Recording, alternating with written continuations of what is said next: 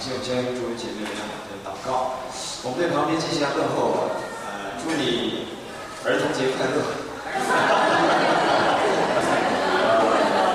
虽然已经过去了，呃，还要对旁边问候，祝你父母节快乐。呃，这个韩国吧，韩国五月份节日比较多，对吧？呃，有儿童节、父母节，还有什么呢？教师节，对吧？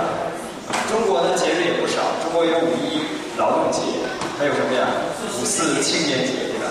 其实我们今天也都青年一把，也都这个年轻一下，是吧？我们比那个青年节还年轻，我们是儿童，对吧？好，我们对朋友继续问候好了。你是神的儿女，你是神的儿女。我们希望每一位弟兄姐妹像小孩子一样来爱主，阿门。好，我们看前面大屏幕，看一下今天要分享的经文。诗篇一百二十七篇第三节起，儿女是耶和华所赐的产业，所怀的胎是他所给的赏赐。阿门。所以我们今天看到的一个神所赐给我们的话语叫什么呢？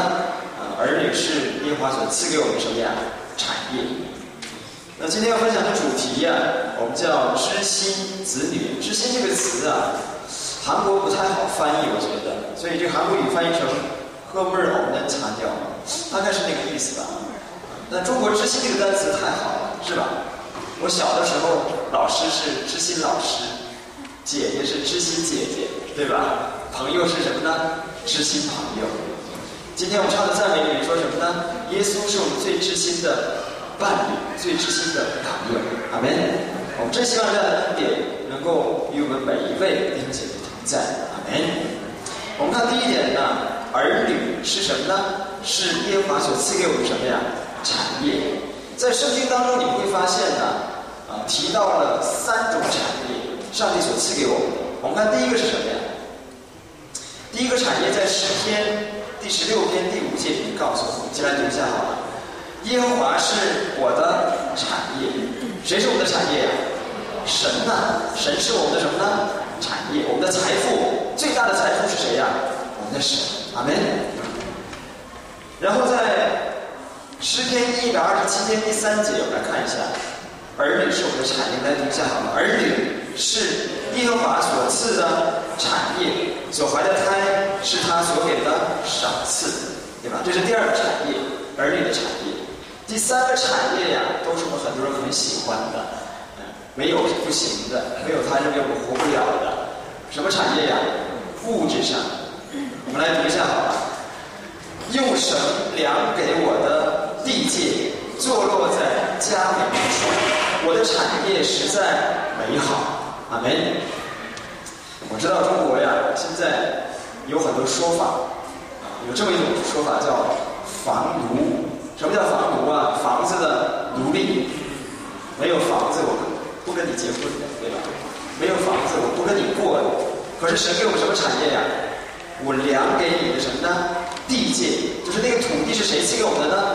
神赐给我们。我们一切的物质，啊，田地、房屋、事业、钱财，都是谁赐给我们的？神赐给我们。阿门。就今天我们看到三个产业，重新再来整理一下。第一个是什么呀？耶和华神就是我们的产业。我们的儿女是谁赐给我们的产业呢？神所赐给我们的产业。第三个是什么呢？所有的物质啊、田地啊、房屋啊，是谁所赐给我们的呀？神所赐给我们的产业。我们都知道，圣经当中有一个人，这个人的名字叫亚伯拉罕。哎，我们看圣经，现在我们在呃分享创世纪是吧？每每天你都读，我相信你在读。亚伯拉罕什么时候得到他的儿子了呀？一百岁，对吧？一百岁，就是到今天一百岁得个儿子的话，就是奇迹了，是吧？我是在那个几千年前，一百岁，亚伯拉罕得到一个儿子，他视他的儿子如同什么呀？珍宝，非常非常的宝贵。但是神呢，就要把他这个宝贝怎么样拿走了？这个神对亚当说什么呀？说你把你的儿子给我献祭。什么叫献祭呢？就是到山上用刀把以撒怎么样割开，然后用火焚烧，我们叫献祭。献祭一般是用什么呀？用牲畜，对吧？用羊，用鸽子。可是神说神对亚伯拉罕说你把你的儿子怎么样献给我亚伯拉罕在神和他所爱的一百岁得到的宝贝儿子之间做了什么选择呢？选择了谁呀？选择了神对吧？神说你要要我的儿子好我就给你。他就带着他的儿子怎么样上山去献祭。选择顺服了上帝的什么呢？命令，经受住了神的什么呀？考验。在亚伯拉罕的心里，谁是最重要的？上帝，神是第一位。就那旁边大哥好，神永远是第一位。神永远是。首要。神永远在我们的生命当中是最重要的。你们生命当中所有的宝贵的东西都不能和我们相信的对上帝相比。好嘞。圣经当中说呀，儿女是神所赐的产业。我们对这句话的理解有多深呢？有些人呐，特别是韩国，韩国现在比中国还严重啊！这个，那我说这句话可能很多韩国人不喜欢，但是我觉得还是这样。韩国有一句韩国语，这句韩国语你们听我翻译一下，叫“男家无人主义”，什么意思呀？男子优越主义，这在中国叫什么呀？大男子主义。把它换成四个字叫什么呀？重男轻女。不单是韩国呀，在中国也是一样。全世界有很多国家文化当中都有这样什么呀一种特点，重男轻女。但是对基督徒来说，生男生女都是什么呀？都是一样，因为每一个人在神的里面都是什么呢？特别的存在。阿门。我们今天唱的赞美，第一个赞美叫什么名字呀？世界有你会。更美好，你是如此如此的特别，每一个人都是什么呢？特别的存在。圣经当中说，儿女是耶和华的产业，我们生男生女都无所谓。可是圣经当中有一个人，这个人的名字呀叫拉杰。我们教会有一个人叫拉杰，我们都不知道是谁，是不是？啊，拉杰是谁呀？是雅各的妻子。雅各是谁呢？雅各是亚伯拉罕的什么呢？孙子，不是儿子吗。亚伯拉罕的儿子叫以撒，以撒的儿子有两个，对吧？以扫和雅各。妻子，那他最爱的那个妻子是谁呢？叫拉杰，拉杰。圣经当中说拉杰是怎样的人呢？天生丽质，极其的漂亮。所以雅各就喜欢那个什么呀，颜值比较高的那个，非常喜欢他。而他的姐姐呀，拉杰的姐姐叫什么名字？叫利亚。圣经当中是这样描写的：利亚呀，相貌平平，就是长得一般，颜值不高，所以这个雅各就不喜欢他。可是他们两个人都成为了雅各的妻子，当然是被雅各的舅舅给骗了，对吧？他舅舅叫拉班，对吧？把他给骗了。可是圣经当中说了一句话，说雅各爱谁呀？爱拉结。雅各爱拉结，不爱谁呢？不爱利亚。然而啊，这个利亚有一个什么祝福啊？还有生育儿女的祝福，一生生一串儿。生了几个呀？六个，六个，哇，很多呀。这个拉结出问题了。虽然很美丽，虽然天生丽质，但是有一个祝福他没有，那个耶和华的产业没出现，没有儿女的什么呀祝福。就这个拉杰呀，心情不好，她就跑去找她老公去诉苦，他去找谁了呀？找雅各。他对雅各说：“说你给我孩子，你不给我孩子就要死了，为什么不给我孩子？”虽然雅各呀爱拉杰。可是雅各的回答是怎样的？雅各呢，不但没有同情拉杰，而且呢，他向拉杰生气。他对拉杰说什么？他说：“叫你不生育的是谁呀？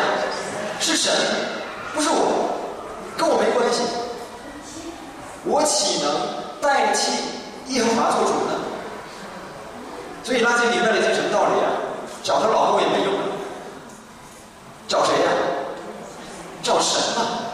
所以他向前祷告，他去祷告神之后，神就怎么样？顾念了拉圾，应允了他，使他能生育。他得了一个儿子，这个儿子的名字叫什么呀？约瑟。约瑟的意思是什么呀？约瑟这个本身的意思叫增添的意思，就是拉杰他为什么给他的儿子起名叫约瑟？就感谢神为我增添了什么呢？产业和我的什么呢？后代。所以你们看，在以色列的文化当中，很多人的名字里面是有什么呢？有含义，每一个名字都有一个什么呀？有个意义在。因为拉杰呀，拉杰觉得说一个孩子不够，独生子嘛，是吧？对他来说，他又去找谁呢？找神，神又给他增添了一个孩子，这个孩子的名字叫什么呀？贝雅米。但是可惜的是啊，拉杰在生第二个孩子的时候，就出现了什么问题呀？难产，然后就怎么样？生命失去。圣经当中还有一个人，这个人的名字叫约伯，有机会你们可以看的，叫《约伯记》。圣经当中描写约伯是一个义人，什么叫义人？就是好人，大好人，大善人。他失去了几个儿女啊？失去了十个儿女。可是约伯说了一句话，这句话呀，让我听起来呀，那么不近人情。他说了一句什么话？他说：“赏赐的是耶和华，收取的也是耶和华。”他说：“这个儿女啊，是谁给我的？神给我的。如果神要取走，我也不能办。”他明白一个道理：真正做主的人是谁呢？是神。这个道理是什么呢？所有的产业都是谁赐给我们的呢？神赐给我们。你们的儿女虽然是你们肉体的儿女，但是是谁赐给我们的呢？是神所赐给我们的礼物。阿门。父母啊，爱儿女、爱子女是天性。我不相信没有一个父母不爱自己的孩子。当然，有的人爱错了，爱出问题来了，就把那个儿女怎么样？我看前两天新闻说，有一个人因为小孩子不吃饭、不听话，就把他打死了。这种爱是有问题。可是父母爱儿女是什么呢？是天性。我们常常看新闻当中有这样一些报道啊，比如说某个孩子得了什么呢？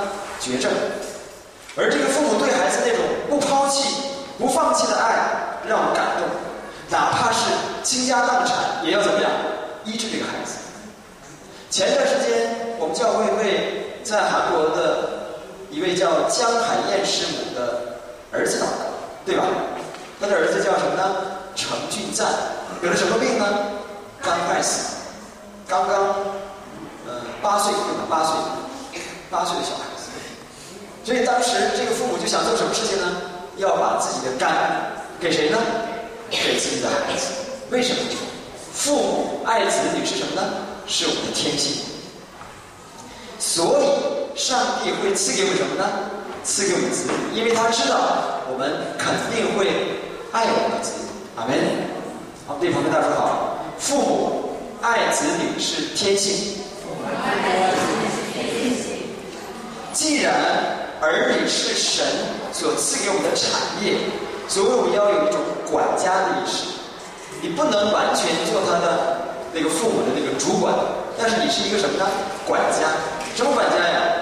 儿女只是神暂时交给我们去抚养和什么呢？关怀他。所以我们要尽我们的责任。我们知道现代社会啊都很忙，对吧？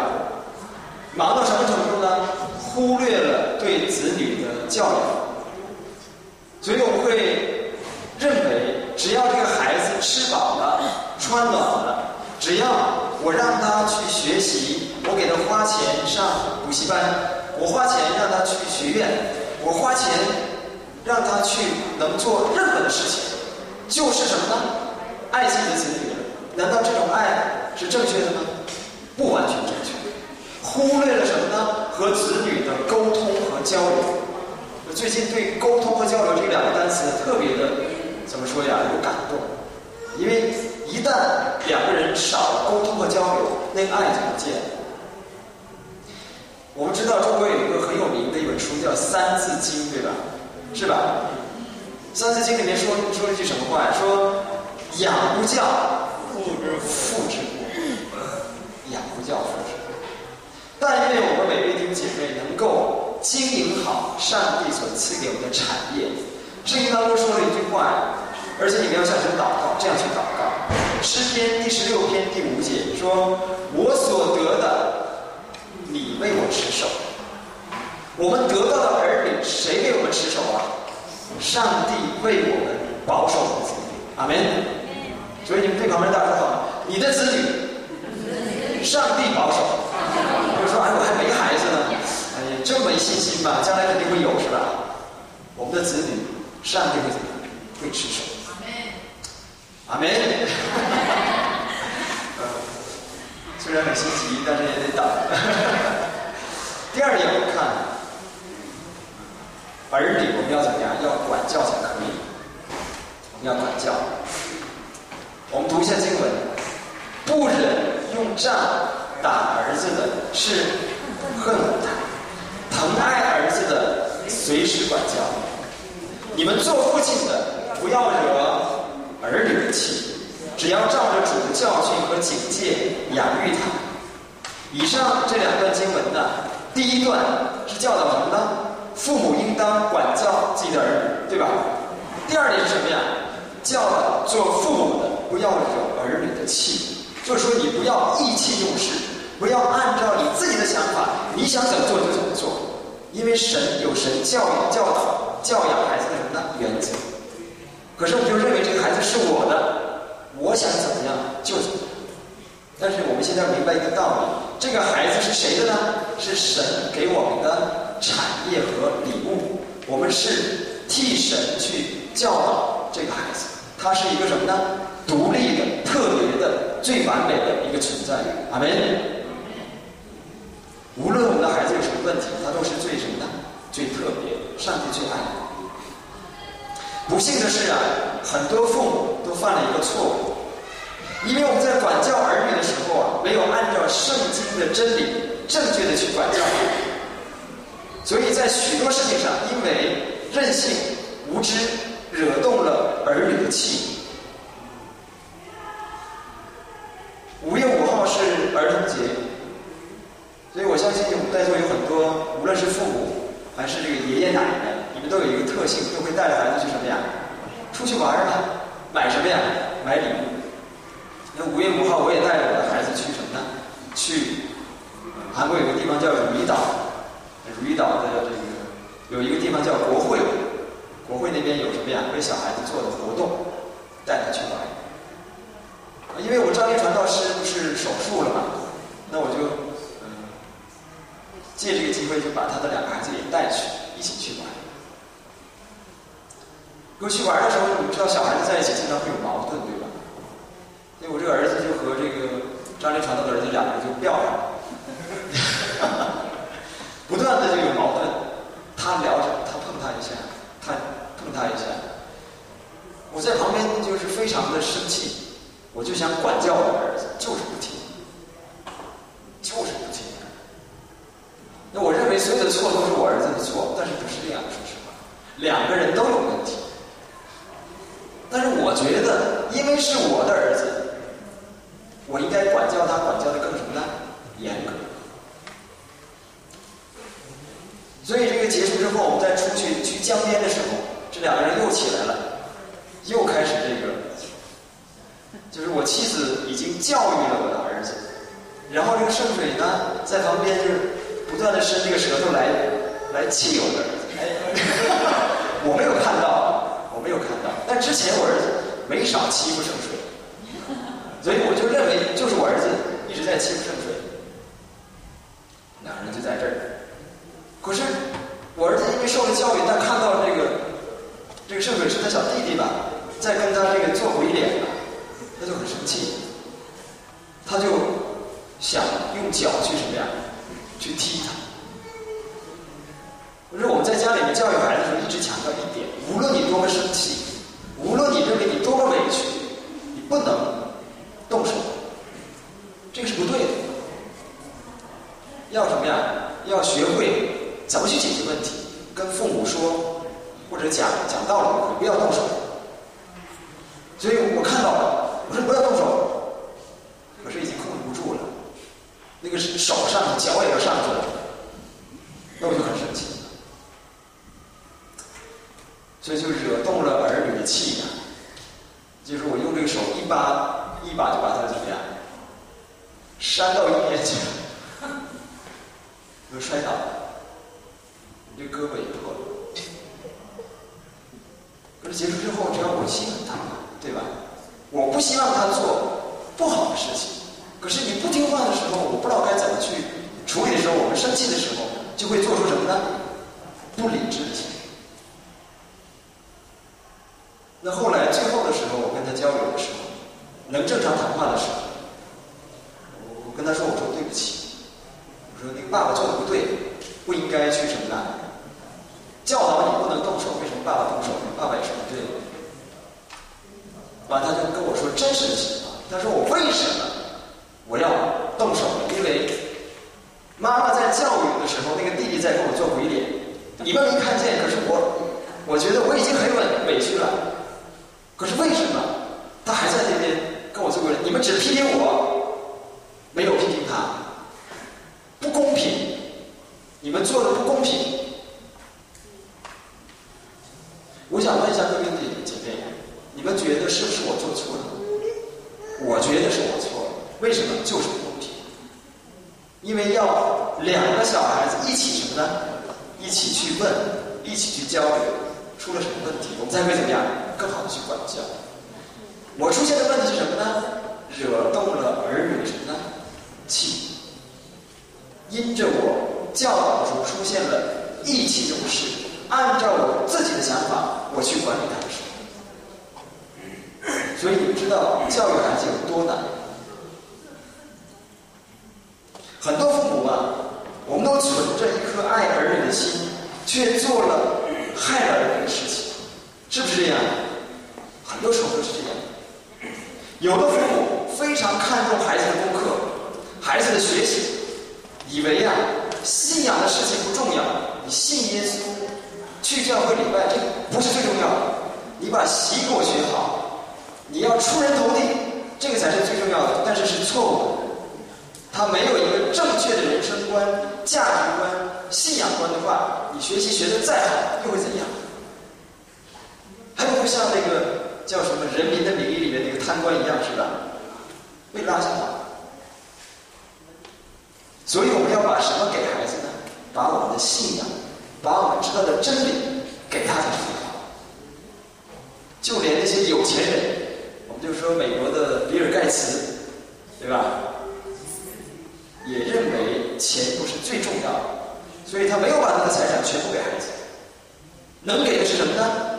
信仰、传承，我们的最好的东西给孩子才是最重要的。可是今天在座的各位弟兄姐妹，你们你们拥有的最美好的是什么呢？我们得到了神的恩典，要把神的恩典给我们的孩子。阿门。生命记第六章，我们来看一下，我今日。所吩咐你的话都要记在心上。下面一句话我们再读，也要殷勤教训你的儿女。无论你坐在家里，行在路上，躺下起来，都要谈论。阿门。所以你会看，很多牧师的儿女有问题，问题出现在什么地方？因为在外面说的，在家里不谈论圣经的话语，这个孩子会怎么样？得不到一个积极的影响，所以就走什么呢？走弯路。很多老师的儿女为什么出问题？在外面教育别人的孩子，回到家里面不教育自己的子女，就出什么呢？出问题。我们是神的儿女，我们得着了神的恩典，我们就要把这个恩典怎么样？殷勤的教导我们的儿女才可以。所以圣经里面说：“今日我所吩咐你们的话，指什么呢？神的诫命啊。”律例啊，典章啊，神叫做父母的当将这些话殷勤的教导儿女。殷勤的意思是什么意思呀？尽我们最大的能力，就是我们应当努力，不是孩子爱听就听，不爱听就算了，而是努力的让他们明白这些道理。在圣经当中，我们看见上帝通过小孩子成就大事。圣经当中有个人物叫撒母耳。在他小孩子的时候，他就得到了什么呢？上帝的启示。还有一个人叫大卫，一个小牧童放羊的，放牛的。神通过他做了什么事呢？打败了敌人的什么呀？将军。不要小看小孩子，圣经当中有一个神迹，叫五饼二鱼的神迹。五个饼，两条鱼。这个五个饼两条鱼从哪儿来的？从小孩子那儿来的。所以圣经当中一直强调你们不要小看小孩子，他们和我们是一样的存在，不要觉得他小你就可以随意的去对待他，因为他有什么呢？人的尊严。所以圣经里面说。你从婴孩和吃奶的口中完全的赞美，让小孩子到耶稣这里来，是主耶稣的命令，也是真理。而且，圣经里面告诉我们，从儿童本身来看也是这样，因为孩子需要什么呢？需要福音。不要觉得我们这些大人需要福音，他们就不需要，他们比我们更需要，因为孩子。和我们有一样什么呢一样的感情？你们知道刚出生的小孩有个什么特点呢？会欺负人，知道吗？他们会打人，会欺负人，会耍什么呀？耍心眼。你们看圣经里面有两个人呢，刚才这个拉杰的丈夫叫什么呀？雅各是吧？雅各和以扫。雅各是怎么出生的呀？抓着他哥哥的这个脚出来的呀，双胞胎，在肚子里面就怎么样？圣经里这样描述，在腹中的时候两个就怎么样？两个国在征战。你们以为小孩子很善良吗？人之初，性本善是对的，可是这个亚当夏娃我们老祖宗犯罪以后，就变成了什么呢？人之初，性本恶了。因为什么？我们生活在罪恶当中。如果没有神的恩典，我们就没有办法解决我们这里面这些恶。有人说：“哎，这个婴孩与生俱来就有这个问题，是因为我有什么呢？有原罪在里面。所以他们需要什么呀？需要福音，需要我们把神的恩典教给他。而且我们知道这个社会呀，道德越来越怎么样？越腐败，越来越败坏，又是一个信息爆炸的时代。你们知道小孩子通过什么来犯罪呀？电脑、手机、电视、网络、报刊、书籍，还有什么呢？不良的朋友，甚至有些小孩子比你知道的都多。你不要以为他什么都不知道，什么都知道。所以我们要带来什么呀？给孩子们带来积极的影响。有人说呀，父母可以禁止、禁止这些孩子接受这些不良的影响，可以吗？没办法。所以我们要把真理给他，让他们能够在生命当中，在生活当中能够什么呀？学会去分辨如何去生活。我们关爱子女的时候，通过几个方面？我来整理了几下啊。我们看第一点，我们要关爱子女，怎么关爱？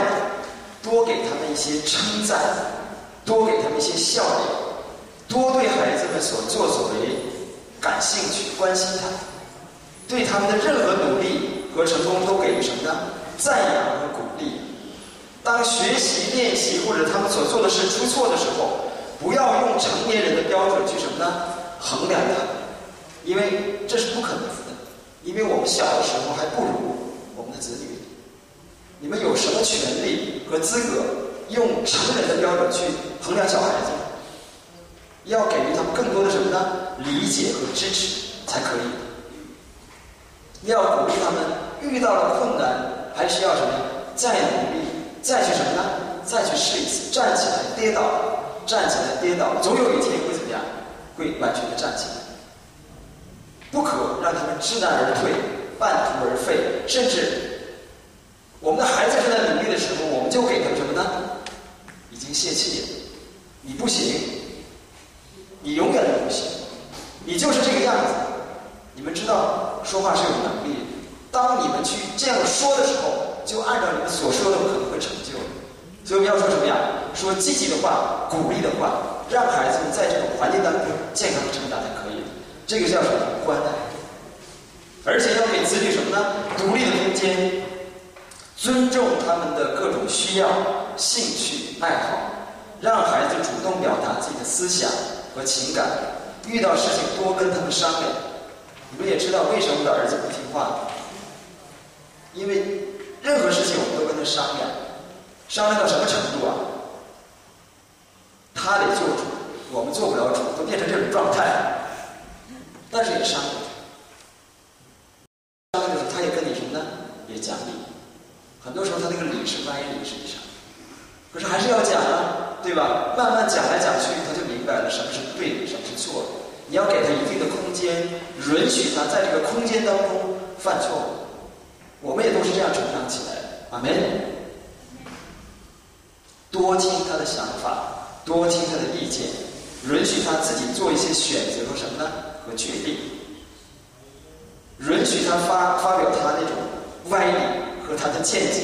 你不让他说才是问题呢，他不跟你说才是问题。为什么呀？如果他不跟你说的话，你和儿女的关系就怎么样？已经断绝了。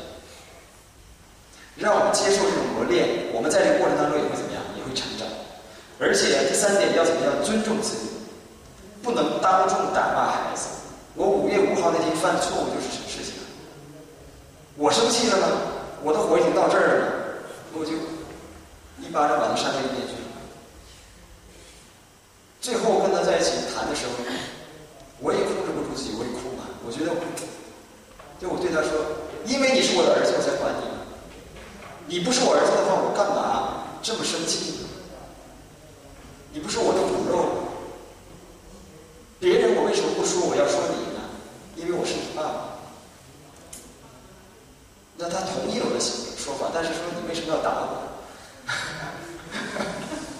这是我的错。而且我们要和孩子成为最知心的。在这方面，我觉得我做的不够，因为我和我的儿子不是知心朋友。我觉得，我妻子和我儿子是知心朋友，可好了，什么秘密都说，就是不告诉我。所以昨天我跟我儿子摊牌的时候就说了：“你怎么不不跟我说这你的知心话呢？这些秘密为什么不告诉我呢？你知道爸爸多妒忌你吗？” 所以我妻子教育我，我妻子说：“你应该多给孩子写写信呢，多写些纸条啊，多跟他聊天呢。”对呀、因为我的关爱已经够了，所以没成为什么呢？知心朋友。你付出就会得到什么呢？得到回报。也希望各位弟姐妹啊，有儿女和你的孩子成为什么呢？知心的朋友。阿门。而且你要和孩子有什么呢？一起共度的时间，比如说你和他一起去看书，一起去玩儿，一起去运动，一起去什么呢？看电影，一定要有你们两个人或者你们一家三口人、四口人的一个什么呢？一起的时间。没有时间也要创造时间在一起，这个是他们儿时最重要的成长的一个时光。这些东西会给他们一生带来什么呢？极大的益处。只有这样，你才能和他成为什么呢？知心的朋友。虽然我在五月五号那天犯了错误，但是我在弥补的时候，我的儿子最后还挺满意。为什么？因为带着他去租了自行车，陪着他去一起骑车，一起玩儿。当我跟他玩儿的时候，他原谅我，我也原谅他，两个人互相原谅。朋友之间难道不犯错误就是朋友吗？我们可以允许对方犯错误，但是怎么样要改正。让孩子在这种环境当中成长，肯定是健康的环境。而且家长对不同性格的孩子要采取不同的方法去教育才可以。我们看有几种孩子呀，开朗，对吧？调皮的、孤僻的、温柔的。所以每家的小孩子都不一样，对吧？我这孩子就是听话呀，他怎么说都行。我这孩子他就是不听话，那皮的已经都不行了。你跟他说一百句，他能听一句已经不错了，能把你气死。因为我小的时候就是这样的，很调皮。等我看我儿子的时候，我知道他肯定是我儿子，对吧？他这么淘，因为他爸爸的基因，他母亲的基因嘛。你说他的时候，就说我们自己。如果我们遇到性格开朗的孩子，活泼的、爱说的、爱动的，要怎么样？高标准、严要求才可以。还要对他的某些行为进行适当的控制，让他知道这个到了这个线就不行，不能过线。要求他认真做每一件事情才可以，并且要有始有终。这样的话，这些爱动的孩子就知道我该怎么做事。让他知道有可为，有不可为。这些爱动的开朗的孩子，因为有的时候他会到什么程度啊，控制不住自己，就会怎么样做错事。而对这些调皮的、专横的、粗心的孩子呢，可以采取批评和鼓励一起的方法，就是不要全都批评，还要鼓励。这样的话，他才会怎么样？要知道，哎，我还是。哎，我的父母对我还是什么呀？认证，而且要让他明白爱人如己这个道理，让他和同伴们一同分享快乐才可以。特别是性格孤僻的小孩子危险，我们都认为性格孤僻的小孩子是听话的小孩，这些小孩子长大以后出现的问题更严重，比性格开朗的还要严重，没有朋友，宅在家里面，自己一个人。生活在自己的世界里，容易得什么呢？得病、忧郁症。所以这样的小孩子胆小、内向、孤僻，我们应当怎么样？采取欣赏的方法，多亲近他，创造他与别的孩子交往什么呢？这种环境，在集体场合当中，多给他什么呢？表现自己、多说话的机会才可以。还有些性格温柔、听话的、沉稳的孩子。那个时候要让他什么呀？有探索意识，让他有一些挑战的意识。因为越是这样的小孩子，越怎么样？没有什么挑战，怎么样都行。哎，但是会出现什么问题呀？不努力。所以让他怎么样？创造意识。孩子们喜欢的教育和家庭有几种环境啊？有有有大概十个特点。第一种环境是孩子喜欢的环境，就是在。和孩子一起的时候，父母不吵架，从来不在父母在孩子面前吵架的这个父母，这样的家庭是幸福的家庭，对孩子是最好的家庭。可是我就出现的问题就是，就是在孩子面前吵架，所以你父母怎样，孩子就会怎样。你就算装，你忍也不能在孩子面前怎么样，不要在孩子面前吵架。阿门。我对旁边大家说好，不要在儿女面前吵架。我从来没看过父母吵架。我的父母给我带来的影响是什么？不敢跟别人吵架。我一跟别人吵架，我我就嘚瑟，要抖。因为从来在家里没看见过父母吵架，真的。我不知道他们吵不吵架，我猜肯定吵。可是从来没在我和我哥哥面前吵过，所以我不会打架。甚至跟别人吵的时候都，不知道该怎么吵。当然，这也不全是好事啊！你自己的想法你表达不出来，但是我们不要在孩子面前怎么样吵架。第二点，对孩子应有所隐瞒。比如说，有些经济社会关系、个人隐私和失落感，有的东西不需要让他知道，不能让他知道。没到他知道的时候，就不要让他知道，不然的话，这个孩子成长会出问题。小孩子的年龄就让他。按照他那个年龄去增长才可以，你不能让他过早的成熟起来，就像那个拔苗助长一样，你不能催熟他，按照他的年龄，让他在这个环境当中，他知道就可以，有可以知道的，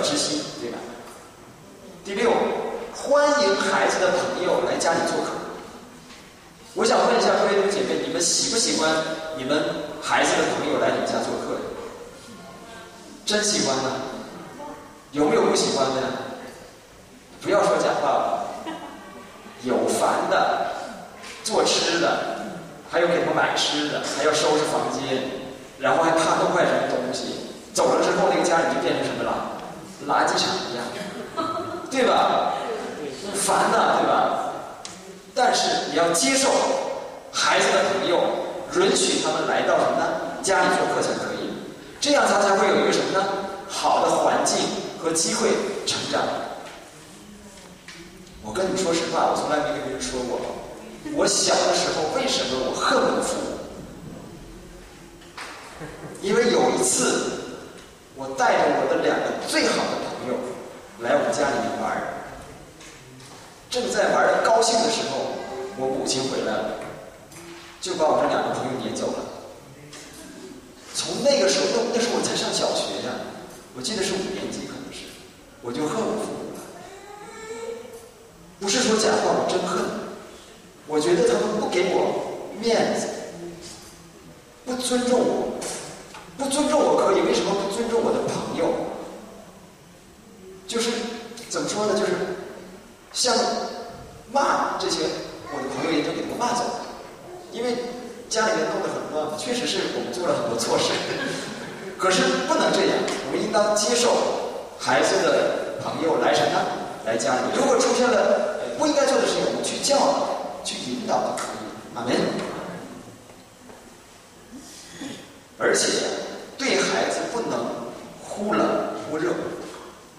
我今天心情好。我对你好点我今天心情不好，别来烦我，什么都不行。那个孩子就跟你一样，他也对你忽冷忽热，你会发现状态是一样的。更不能想发脾气就发脾气，想打孩子就打孩子，想骂就骂。如果你这样去做的话，这个孩子也不知道该怎么去办。他没有什么呀，没有规律，也没有原则。那个失职的人不是孩子，是我们自己。为什么呀？你没有一贯的一个原则在里面。第八，我们要尊老爱幼，采取民主的方式决定我们家庭的大事。我们家搬家了，你知道？我们家搬家的决定最后是谁决定的呢？是我儿子决定的，不是我们两个人决定的，是我们全家人开会决定的。真的。是我儿子先提议的，他提出了一个建设性的意见。他对我和我妻子说我们要搬家，然后被我和我妻子就否定了。他说你为什么要否定我的这个建议？然后我们就给他讲为什么？因为我没有钱呐，没办法贷款呐。我们现在住的环境已经不显了，已经不错了呀，为什么要搬呢？可是他有他的想法。那最后就经过。民主开会讨论之后，我说好，尊重你的意见，搬家。我儿子做的决定啊。你们家里面搬家是你们的儿女做决定吗？不太容易是吧？可能会影响到你们，但是影响不大，我觉得。民主非常重要，当你尊重他的时候，他也尊重你。阿门。你们不不尊敬老人。你们不尊敬别人，你们在家里说别人的坏话，你们在家里说你们父母的坏话。如果你们说的时候，儿女将来和你一模一样，如何让你的儿女将来尊敬我？你们要尊敬别人才可以。阿门。第九，在家庭里面应当有文体活动。应当有集体活动。我到今天我也忘记不了，我们每年过春节的时候，我在家在中国的时候，我们全家人还没有麻将的时候，特别的幸福。我们经常做什么事情，你知道吗？猜谜呀，然后那个呃做智力游戏呀，然后挖宝啊，我永远忘不了这个事，特别期待。可是当有了麻将之后，这个幸福的生活就不见了。每天就坐在那边就搓那个东西啊，一点兴趣都没有。我觉得要有什么呀？益这个对我们有益的文体活动，像跳棋呀、军棋呀、象棋，特别幸福。所以我们有时候在家里后边，我的儿女我们就玩那种叫呃韩国那种益智游戏，特别有意思。我也会玩算术啊，或者是这个这种韩国有很多这样的游戏，我们教会买一些。你们要创造机会，在家家庭里面制造什么呢？制造幸福的气氛。阿门。甚至你们可以拿圣经里面的这个经文去做什么呢？去做猜谜呀！我和我的儿儿女经常做什么事情呢？比如说我们家，我会这样子说：今天我讲到的内容很多呀，不好意思啊，有一些这里面没有的内容。举例来说啊，每周一我妻子会去学商谈，那我在家我会看他们做什么游戏呢？我就对我的女儿说：哎，咱们家有两个十字架，她说这，哎是有十字架，就开始找，哎那个那上面挂了一个。冰箱上挂了一个，然后他就对我说：“我们家里边最吵的、声音最大的是什么？”我说：“是什么呢？到底是什么呢？”我们就猜，就猜完之后啊，我们家有一个小，这个叫叫小荷兰鼠，那叫什么东西？hamster，hamster，这个汉语怎么说呀？这个东西，那个小老鼠特别的吵，到了晚上了，它就咬那个那个铁那个栏杆那个。一直在咬，就咬的你就晚上就就有的时候被它给惊醒了，我们就开始猜谜呀，然后又有时候用动作逼着我，我有时候很累，我不想做。今天我玩动物游戏，然后他们就做了很多动作让我猜这是什么动物。我的女儿肢体语言不太好，所以我就她一做的时候我就这到底是什么东西？这个每次这个动作都差不多，我觉得，于是也不是鸭子，也不是大象，也不是什么东西。我儿子还好。他肢体语言比较这个，怎么说也丰富一些。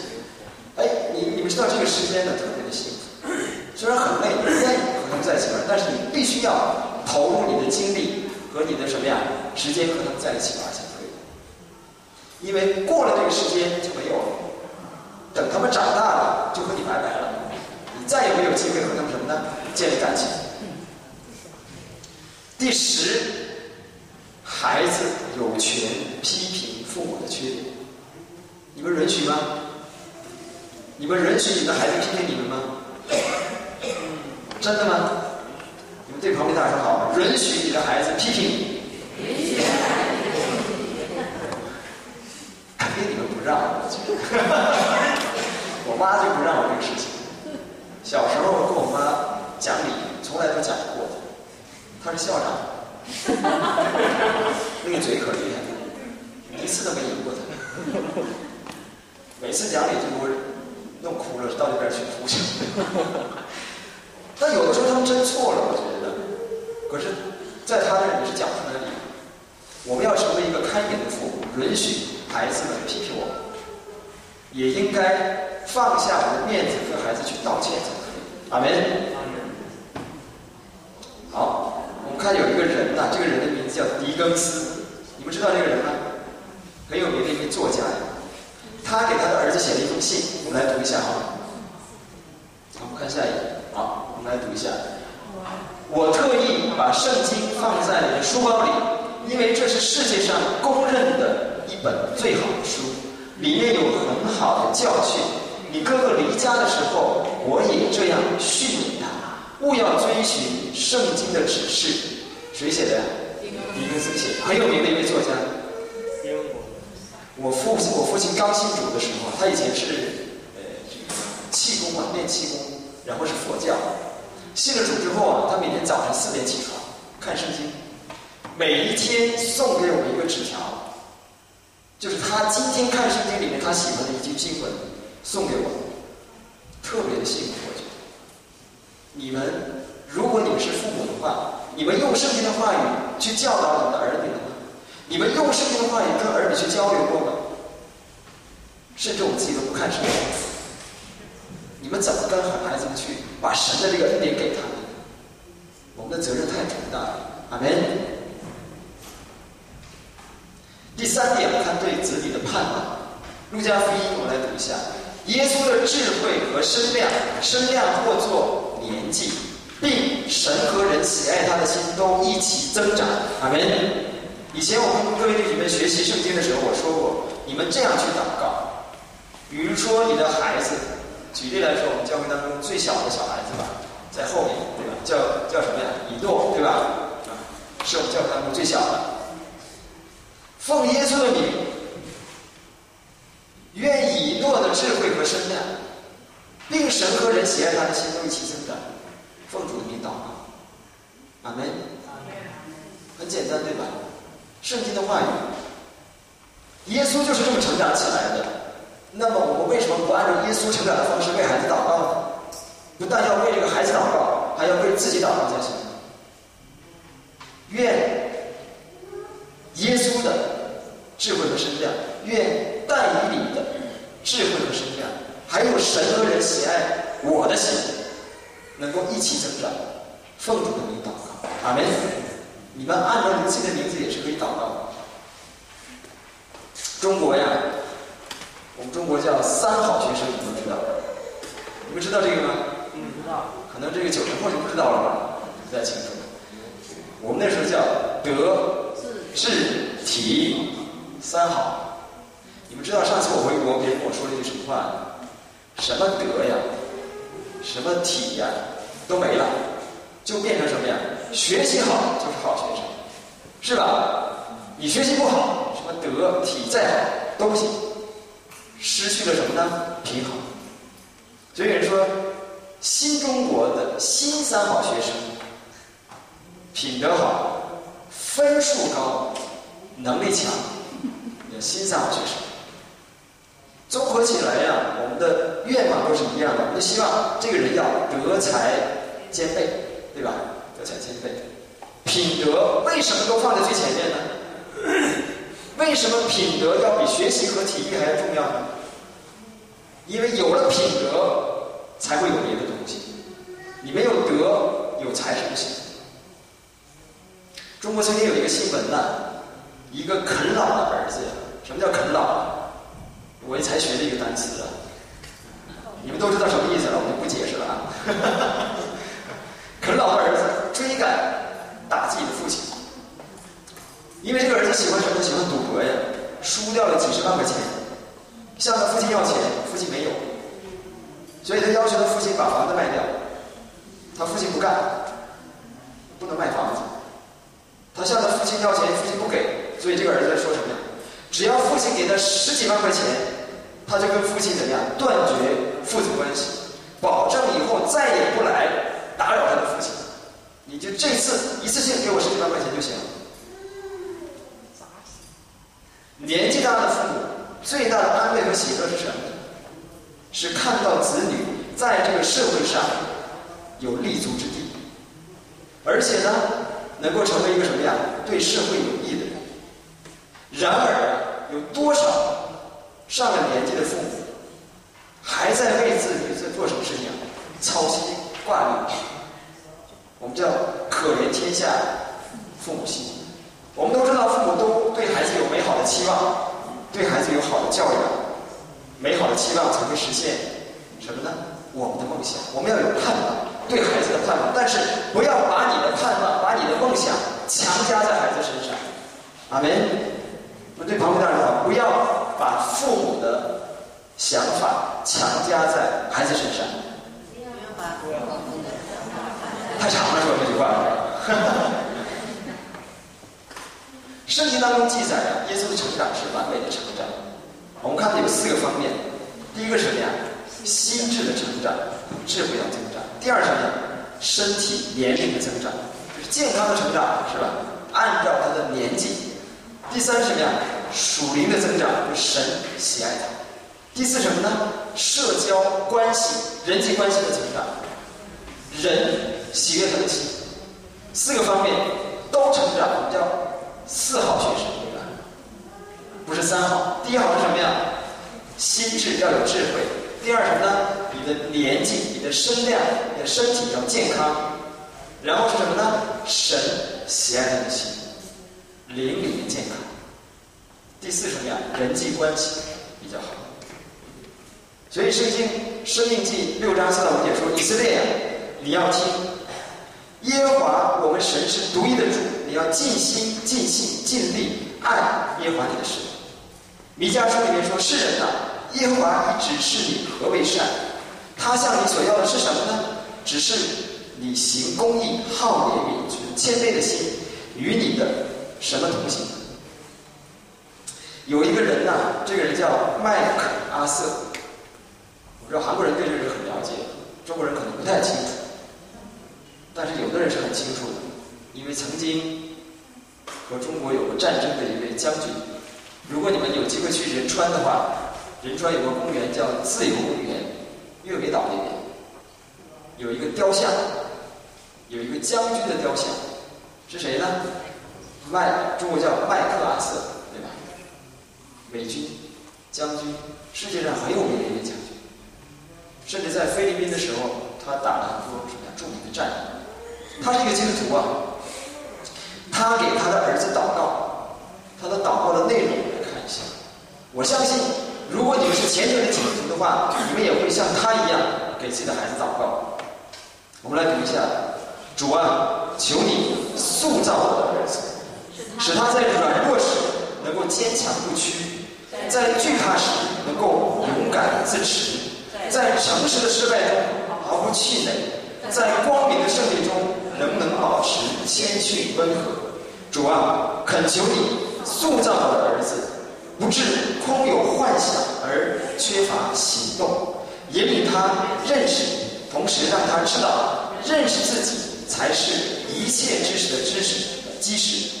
主啊，我祈求你，不要使他走上安逸舒适之路，求你。将他置于困难、艰难和挑战的磨练中，求你引领他，使他学习在风暴中挺身站立，并学会连续那些在重压之下失败跌倒。主啊，求你塑造我的儿子，求你让他有一颗纯洁的心，并有远大的目标，使他在能指挥别人之前，先懂得驾驭自己。当迈入未来之际，永不忘记过去的教训。主啊，在他有了这些美德之后，我还要祈求你赐给他足够的幽默感，以免他过于严肃，还苛求自己。恳求你赐给他谦卑的心，使他永远记得，真正的伟大是单纯，真正的智慧是坦率，真正的力量是温和。如此。